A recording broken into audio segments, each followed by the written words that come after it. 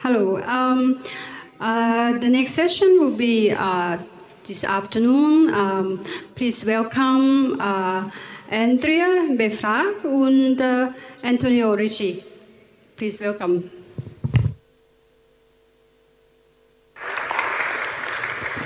All right, uh, can you hear me fine? Yeah? Okay. So, first of all, thanks for coming to this talk. My name is Adrien Defarge, I'm a developer at Jawg Maps. And my name is Antoine Riche. I created Cartocité five years ago, and I've been working with SNCF Transilien uh, to map railway stations, basically, the Greater Paris area, uh, since 2016. Yeah, so since last year, we've been working on pedestrian routing uh, inside and around train station. So first, I have a question for you. How many of you arrived uh, to Heidelberg by train? I know I did. Okay, so almost all of you. Nice. So maybe you'll be able to relate to the story I have for you. My story takes place in one of the biggest train stations of Paris. And a traveler just arrived at the train station. It's past midnight, she's tired, she's just thinking about going to sleep. But she also thought about booking a hotel just next to the train station. Well, one of the train stations, because there are multiple in, in Paris, and she chose the, the one at the other side of the city. So bad luck, but she soon finds out that she has to take the night bus, the N02. And after a bit of looking around, she finds this. All right, so uh, bus number uh, N02, she has to take the exit number three or number four. All right, so, so far so good. But she also finds this. Okay, it gets harder, right? Because for some people, reading a map can be very hard. But for big complex train stations, it's even harder. And as you can probably uh, guess, it can be very stressful. Um, yeah, so. Um, and the problem of guiding users through train stations is a very hard problem, and uh, one which um, SNCF and Transilien has been trying to, to solve for a long time. In 2016, uh, they started proposing an online map of all train stations um, of the region of Paris. So, uh, and of, of, course, it's a, a, map based on OSM. Um, yeah.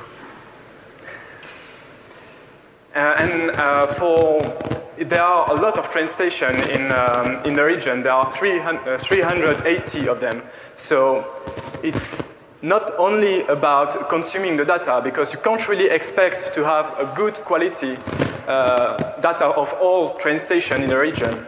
It's also about contributing. So we've had uh, Antoine and his team going to the train station to map them. Well, we've not been mapping all 388 uh, railway stations of the Greater Paris area. Some uh, were, were mapped by the community, obviously, but for some of the complex railway stations, uh, you could only have good data, good quality data, with uh, some uh, uh, quite extensive work. So what we've been doing for some of the most complex railway stations, such as the railway station of Paris, we were given uh, architect plans, which we used to create the structure of the multi-level railway stations. When we had no architect plans, we were walking into the station with a telemeter and taking measures and counting steps, as you can see on the, on the left. And, um, and also, when we've done that, we go into the station and take thousands of pictures, a set of four pictures every four, four or five meters, with this device built by Stefan, which you can see here. And uh, with all these pictures, we don't need to go to the, in the station again to map. We got everything, all the information we need to create the data on JOSM. So yeah, but it's a lot of work. But sadly, as we saw earlier, sometimes a map is just not enough. Um, especially in a world like ours, where we're so used to be guided everywhere. I don't know about you, but I had my phone out uh, with uh, routing software to, to get here. And our users accept, uh, um, is, is well, expect that. Thanks. they expect that. They expect to be guided from the time they, they get at the station to their destination. And routing is nothing new, right? There- There's been working solutions for a year. So, and also in the OSM ecosystem, as you probably know, we have very good working solutions. So we thought, why not, why not try that? And so we did. And here we have uh, an example with uh, OSRM. So yeah, it's not going very well. We, we put our starting points uh, on the platform, and the software basic, basically tells us to teleport to the street above, and then follow it to the destination. So yeah, and it's, it's nothing against OSRM and or any other routing software. They were just not designed for that. They were designed for outdoor, not indoor. So we knew that we had to develop something new to uh, propose this feature to our user. So in the next 15 minutes, we're going to uh, go over the things we had to handle uh, to propose this feature. So the first thing we have to do is, well, if you uh, start from scratch, you have to handle the road, net- the road networks.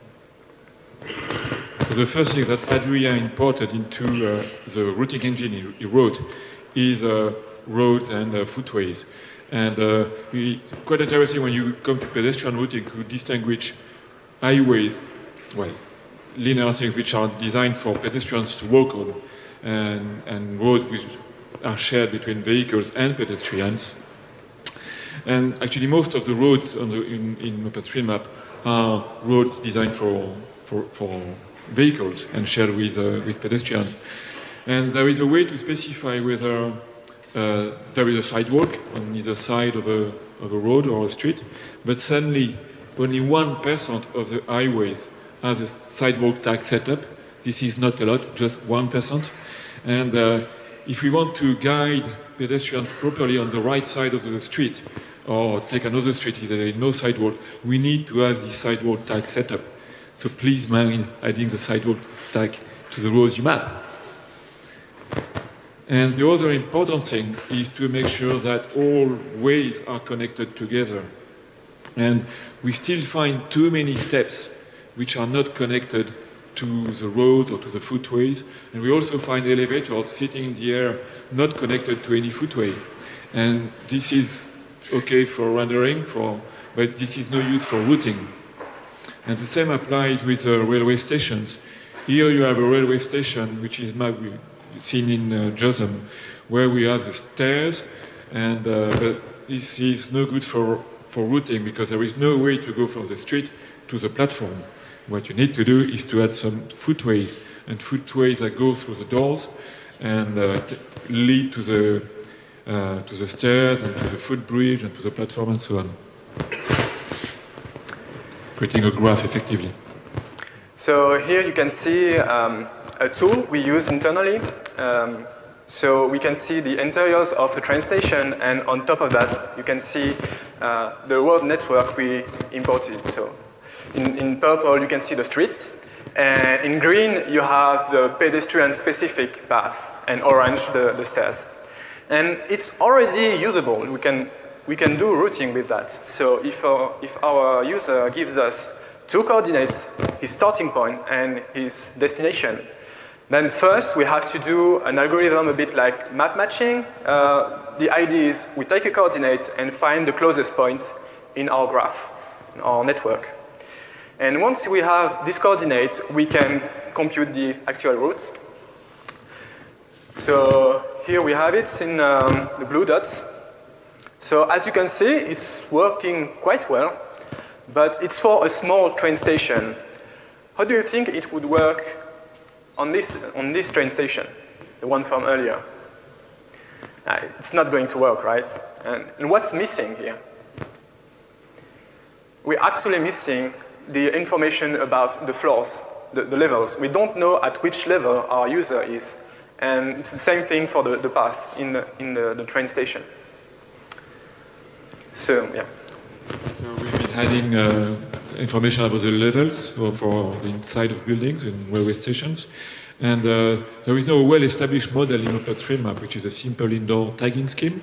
And this introduces a couple of tags, uh, one of which is a level tag, which enables you to specify uh, whether any thing inside a building, any equipment and what have you, is at a specific level. So it has to be a numerical value. And uh, you can assign it to footways.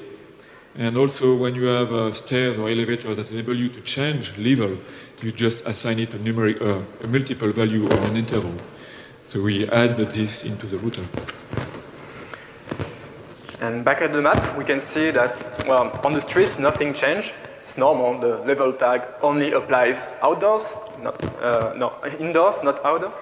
But inside the train station, uh, you can see the, the main building is at level zero. And the underground passage are um, level minus one. And we can also have the, the stairs. Okay, so let's go back to our user. And let's start with something simple. Uh, our user just arrived at the train station.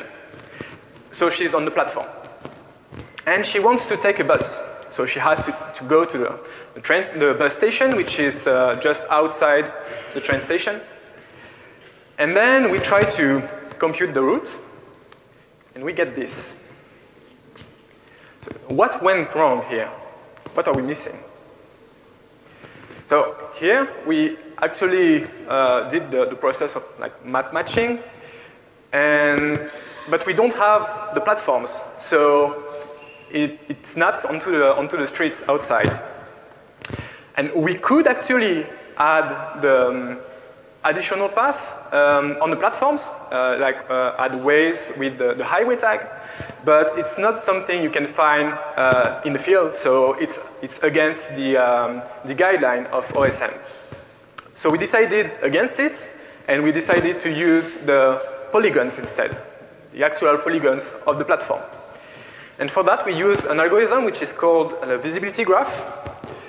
So the, the idea of a visibility graph is you try to compute every possible segment in a polygon. And you can you get this kind of um, spider web, which you can use for routing like any other network you've imported from OS, OSM.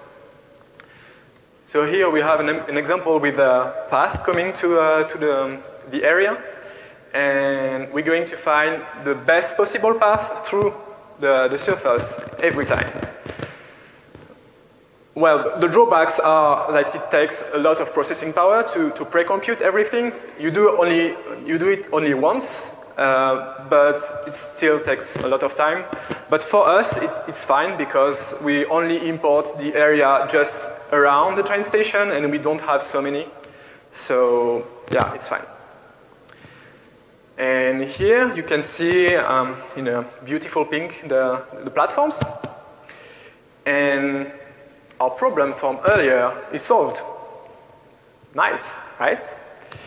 But I don't know about you, but when I implemented this, I wasn't really satisfied because be able to, to do routing through platforms, it's really cool. I mean, we have to do it, right? But we want to do more. We want to, you know, those big train stations, there are open spaces everywhere. And you don't really have any specific path to follow, right? You can go from anywhere to anywhere. So and we could actually use the same method for the indoor. So I mentioned the simple indoor tagging scheme. The other tag it introduces, and many of you know it, is an indoor tag which enables you to describe open spaces, uh, closed room or corridors, and uh, and effectively these are just uh, like I mean, the, this model is really very much topological and very much suitable for area routing. So uh, considering them into the router was not such a big uh, issue. But this, when, we, you know, when you get to area routing, whether this is indoors or outdoors, you need to consider two concepts, which is a concept of barriers and crossing points. Uh, Indoor, you can have walls, which are barriers, which are linear things you can't go through. You can have barriers outdoors as well, like fences. And, uh, and your router need to consider them to either go around the barrier or cross the barrier. And, um, and, uh, and across the barrier. And the other concept is a crossing point, which you can go through. You can walk through a barrier. And, uh, and the, there is also this concept of uh, implicit barriers. I mean, things which, like closed rooms, you don't map the walls, but implicitly the perimeter of the room is a barrier, so you need to consider that as well. So back uh, in our tool, uh, we can see that we have a few other rooms imported. It's actually a mix of uh, indoor equal room and indoor equal area. So once you've implemented the, the, platforms, it's not so hard to have other kind of um, areas because you just have to handle more tags and apply the, the, same method. But you have to be careful about one thing is the, the concept of barrier. Otherwise, if you try to do routing without barriers, you get this. And there is a wall there, yeah. So I don't know any user which is able to go through walls, so. Um, we're not going to go over the implementation of barriers because yeah, the, this presentation is quite short. But yeah, if you want to do indoor routing through surfaces, in most cases you have to handle barriers.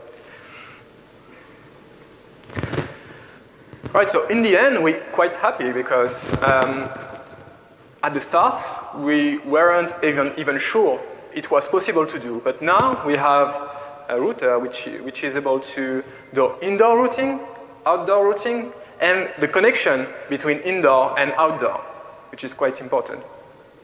And we're also able to do linear routing and also routing through surfaces and areas. And so this software is uh, actually uh, in production now um, in, uh, in an application uh, for uh, Transilien.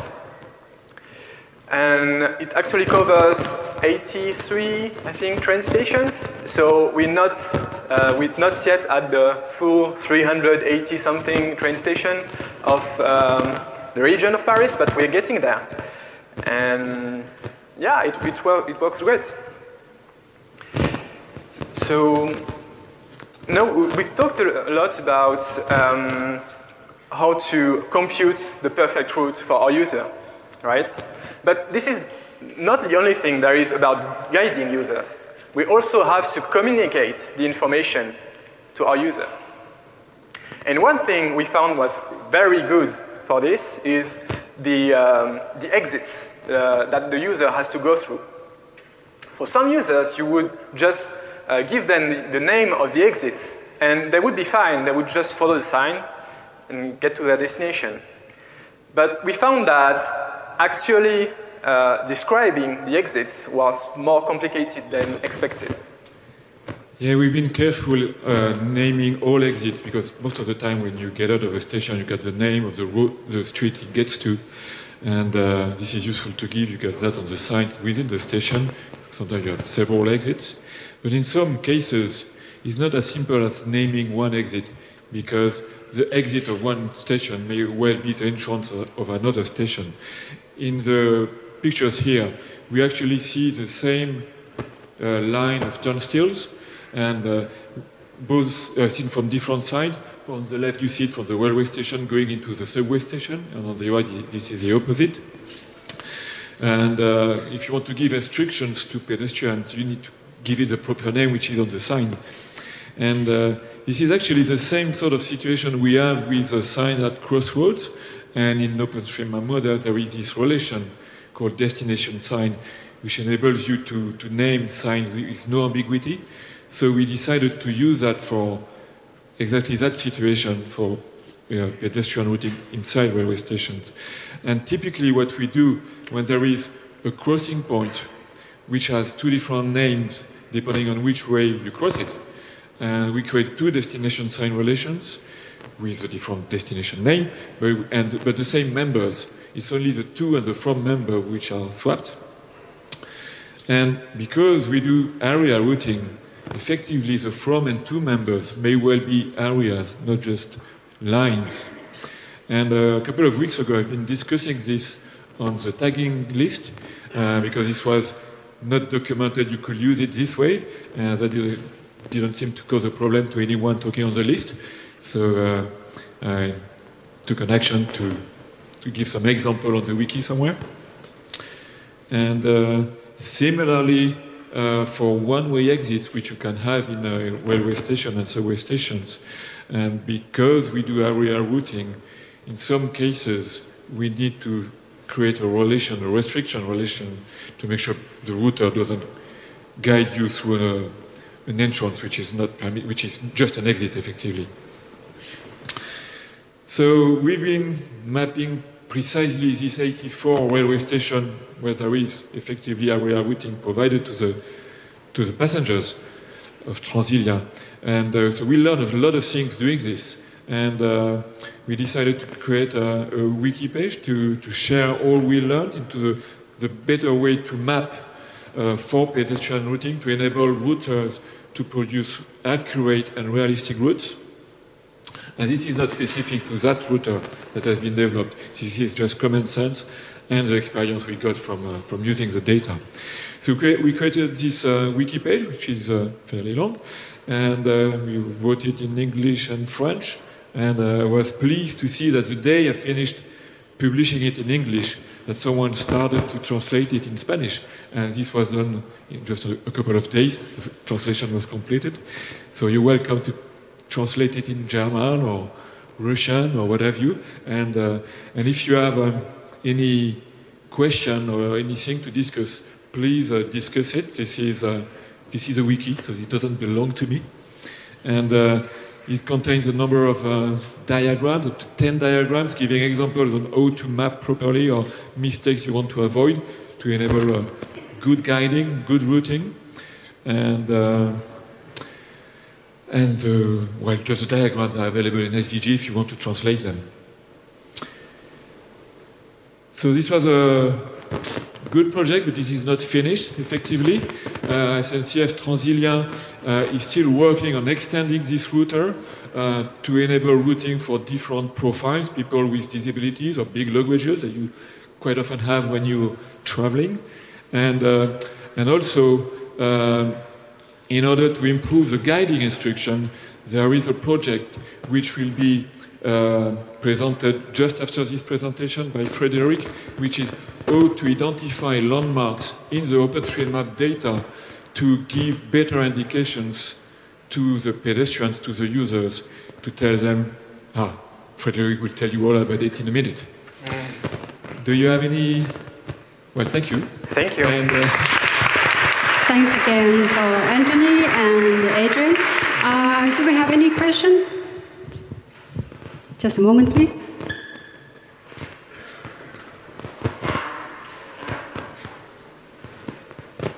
Um, so in your example, um, routing from the platform area, um, does the uh, step leading to the platform actually need to be connected to the platform area for you to be able to route it, or is it enough if the step ends inside the platform area?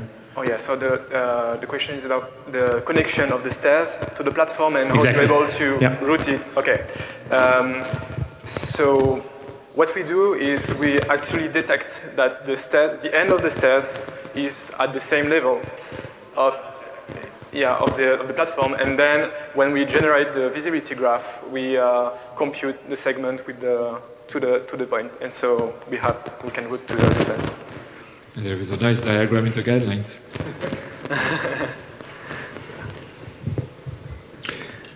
Okay, uh, just one remark about uh, your problem with the exits to, to uh, refer to them. There's a proposal by another famous railway station mapper, Roland Wagner, who proposes to have a worldwide unique uh, referencing scheme for any exit and doors. So I don't know what stage that proposal is at and where it's documented, but that's probably an idea to have a, uh, a worldwide system for these exits, exit numbering in, in a particular location then which would help uh, people internationally. Uh, the question is, uh, you mentioned destination relation, destination sign relation. Why do you need a relation for that? I mean, the destination is a property of the way leading away from the from the junction. So uh, I need I don't need the, the from leg because it, it always goes to the destination. Yeah, I'm not sure to have understood completely, is uh, about the des destination sign. Uh, you were asking about the, uh, the members, right? Or, uh, why we have to use them like that?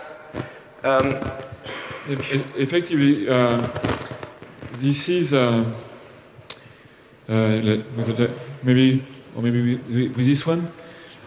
In fact, the, these crossing points are similar to crossroads in a, in a, road network, and you would not use them this way for for roads because a car cannot just turn back.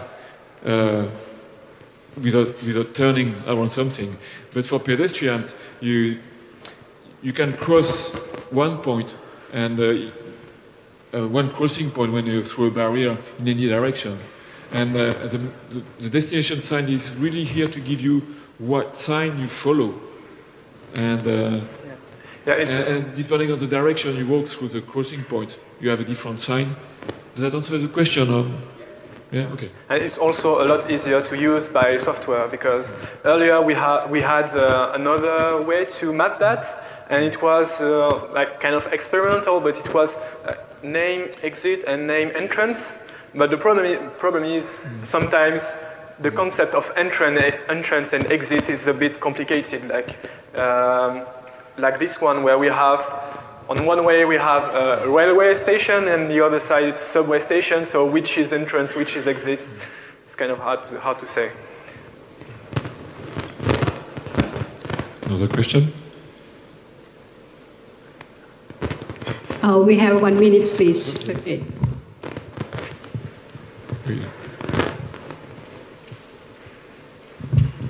So you mentioned for uh, one-way uh, stair exits, you needed a, restriction relation, basically. Uh, would that be doable with one-way? Maybe the picture was confusing, but there are exits which Yeah. are one way. You can just push a door to get out of the platform, for instance, and you don't have any any line. Effectively, you have the platform on one side, the pedestrian area on the other side, and this barrier and crossing point. And in order to say that this is exit only, that you can walk, cannot walk from the outside of the station into onto the platform, the only solution was to add a res- restriction relation, and the member are the platform and, and the pedestrian area. So one, just tagging one way on the on the stairway wouldn't be enough. It's a, it's a way to define a one way on a, on a point, effectively. Ah, okay. Yeah, yeah. So earlier we also had uh, we had another concept which was uh, uh, direction equal exit, but it's effectively unusable from the routing point of view because you don't really know at which side is the exit effectively. So we yeah we need something which tells us this goes from this side to this side, and that's what it does. We thank you very much, Adrian and Anthony, to share information with us.